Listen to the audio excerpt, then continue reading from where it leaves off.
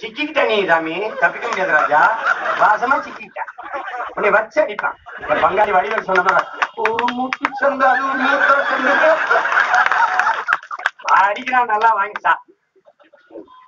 அது சரியான ஆள்னா வாக்கு எந்திரத்தை விட்டுட்டுல தேர்தலை சந்திக்கலாம். அந்த இவிஎம்ங்கிற எந்திரத்தை தூக்கி போடு. வா நில்லு. மோதிப்பாரு. குடியுரிமையற்றவர்களாக வேண்டியவர்கள் வேண்டாதவர்கள் ஆக்கிடும் இப்ப முதல்ல ஊடகவியலாளர் சந்திப்பு கூட சொன்ன தம்பி இ- கார்த்தியோட பதிவு அதாவது நம்ம வந்து குடும்ப அட்டையை வச்சுதான் வாக்கு செலுத்திட்டு இருந்தோம். அல்லது கல்வி சான்றிதழ காட்டினோம்.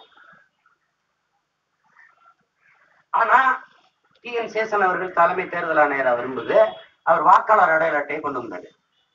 அப்ப வாக்கு செலுத்துற உரிமை உனக்கு உண்டு இல்லைங்கிற கட்டுப்படுத்துற அதிகாரத்தை தன்னகப்படுத்திச்சு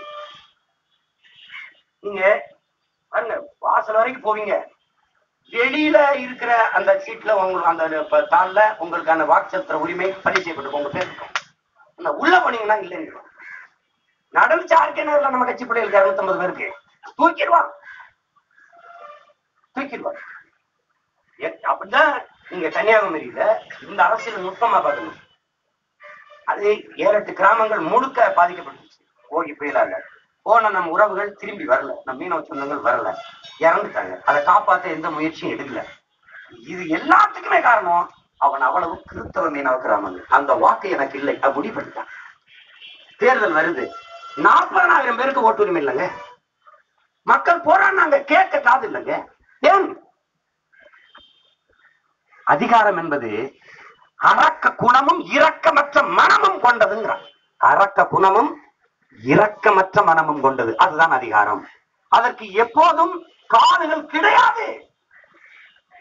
கண்ணுண்டு கண்ணீரே வராது. அகன்ற வாயும் நீல கால்களும் தான் உண்டு அதிகாரத்துக்கு. உன்னை ஓங்கி மிதிக்கும். அது மிதிச்சது சரிதான் என்று அந்த வாயை பெரிய வாயை வச்சு பேசி நியாயப்படுத்தும். இதாண்டா அதிகாரம்ன்ற கண்டுகொள்ளல.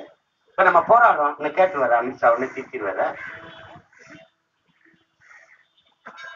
நம்முடைய வீர பாட்டியார வேல்நாச்சியார ஐதரலி படை உதவி கொடுத்து தன் மகன் பத்தொன்பது மகன் திப்பு சுல்தானை வீரங்கி படைக்கு தளபதி ஆக்கி நம் வீர மாதா வேலு நாச்சியார் கூட நின்று நீ போராடு போரிடு என்று அனுப்பிச்சான். அப்ப பதிவுன வார்த்தை நம் வீர மாதா வேலு நாச்சியார்னா ஹைதர் அதே மாதிரிதான் இந்திய நிலத்துல நாம பாக்குறோம்.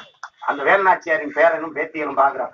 ஒரு வீர மாதாவ மம்தா பானர்ஜி அவளம் தலைவர் இருந்தா ஒரு